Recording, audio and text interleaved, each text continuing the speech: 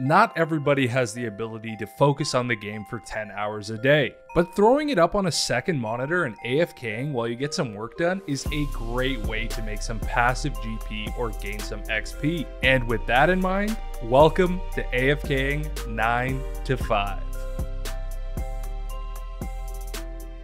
Fellas, welcome to another episode of my AFKing series. Today we'll be making some good money, like actual good money. Are you burnt out of killing Vorkath every night, just trying to make enough for that twisted bow? Or have you just got that bow and need to rebuild your bank?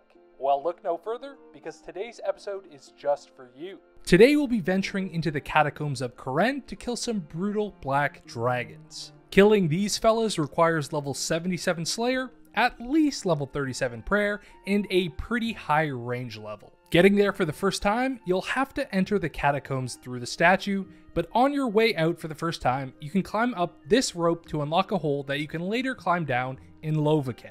For today's gear, I'll be using a classic T-bow rebuild setup. But if you don't have this exact gear, don't worry, you can still work with a budget setup, and I've got some estimations for how much you should make. On the low end, you're looking at a strong 860k per hour, and at the high end, a whopping 1.5 million GP per hour. These numbers are before calculating in supplies, but don't worry, those are not that expensive. My gear will be sitting somewhere in the middle, so I'm expecting to make about 1 to 1.1 mil every hour today. I'll be completely honest, I tried one trip last night so I could figure out what supplies I should bring, and my inventory setup ended up being one divine ranging potion, one prayer pot, two food in case I got too AFK and the dragon starts meleeing me, and one extended super anti-fire potion. I have to use a super here because I won't be able to wear an anti-fire shield, but if you're using a dragon hunter crossbow, you can get along just fine with a regular extended anti-fire. The timing of the trip also worked out perfectly for me to only bring one prayer potion, and honestly, in my test trip, I didn't even use a single sip. This is mainly because I didn't use any offensive range prayers like Rigor or Augury, and this made my kills slightly slower, but more AFK. And with this forbidden knowledge, you might still be wondering how I could camp Protect from Mage for a full trip without any prayer pots. And well, the solution is the Bone Crusher. This might not be for everybody because Dragon Bones are 2k per kill, so I technically burned 2000 coins every kill, but I gained 4 prayer points. This made my trips longer and let me gather more regular loot. So, I guess all that's left is to get to it. I'll see you guys in 8 hours.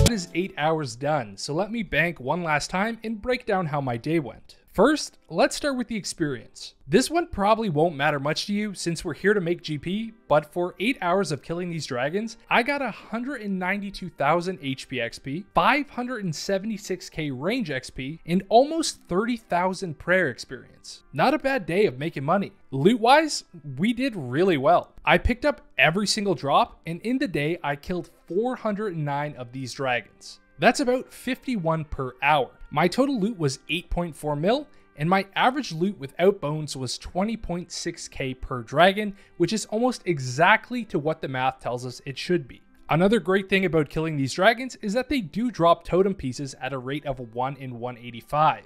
So our loot was on expected value and we were on drop rate for these pieces, getting 2 today. I do think it might be fun in the future to try out some totem farming methods since we now have the Venator bow, So there might be a few more monsters that seem a little bit more viable to farm now. If that's something you'd want to see in a future episode, be sure to let me know in the comments. And while we're still talking about loot, I got incredibly lucky. I actually got the Visage during my day here. This drops at a rate of 1 in 10,000, so you should only expect to get one every 24.4 days, so do not count on that extra 2 mil for your price check. And to be completely honest, I am technically dry for one of these since I've killed 8,000-ish Mithril Dragons and at least 5,000 more across Rune and Adamant, so I'm happy to get that one crossed off the collection log. So for me personally, my final loot came out to 10.8 mil for the day, but I'll be using my earlier number of 8.4. When we talk about money making, we also need to talk about the supplies, because they do cut into that profit at the end of the day.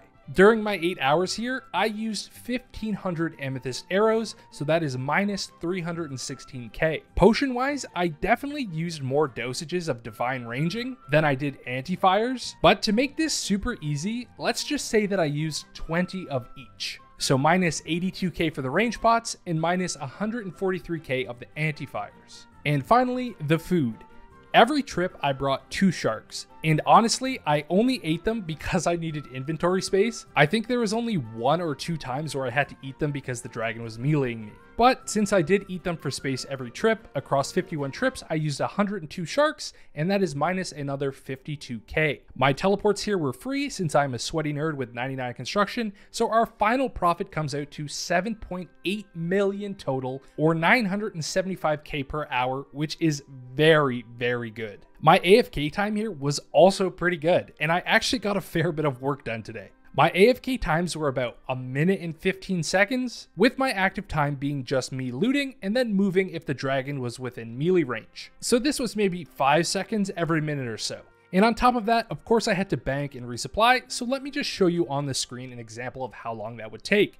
Surely by the time I'm done saying this, I've probably already done it and have returned to the Brutal Black Dragons.